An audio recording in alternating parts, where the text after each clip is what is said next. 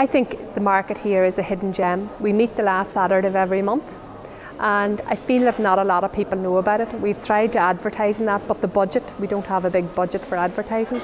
But I think if, if people, if the word got out there, I think this is just a fantastic place to meet and to get new produce, uh, fresh produce, home baked foods, and I sell, sell my own natural skincare range, which I make. It's called Beneficial, and I make it on my own farm. It's a farm diversification idea. I have 16 products, and they're all chemical free, and I make them by hand. I do say I make them in small batches with love. And uh, so, you know, I'm here every month. I do really well and but I just hope that more people get to know about it over the next coming months. You know, when I come here, I do my shopping. I do. Um, I get my own meat. I get veg. I get homemade produce. So I'm actually shopping as well. When I'm here, I'm doing my shopping as well. I don't have to stop at another shop on the way home. It's sort of all under one roof. I can buy. I got a present for my son whose birthday's coming up. So it's it's great, and you're supporting local people. The money's going back into Fermanagh. It's not going away. I feel it's a real social day. I've met people, I don't even know their first names, but I know a lot of things about them. And it's great to meet up with them every month, and then it's great to get chatting to them about their families or whatever. And you see the same faces, and they're bringing people in as well, and they're telling other people this is what we need. We need other people to advertise the market for us. Word of mouth is the best advertising you can get. My name is Laura Goodman, and I make cards.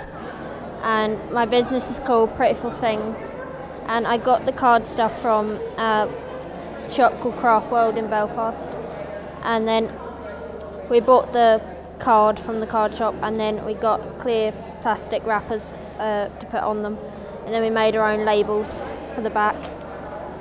This is the first time we've tried to sell them, but we're hoping to go to more markets soon. We've got Christmas ones um, and just ones like good luck um, happy like retirement ones. We've got uh, good luck in your new home one. Um, we've got a baby one. We go to each other's houses and make the cards, and then on the holidays when we're off, then we make them again, and then we we go through the cards and see what which ones we need to make, and then we make them. I just like to see what local people are doing, and I like to support local people if I can, and to buy my vegetables locally or buy my bread and scones, etc., locally if I can. Definitely, yes, definitely getting bigger and bigger. More people are interested each month, I think.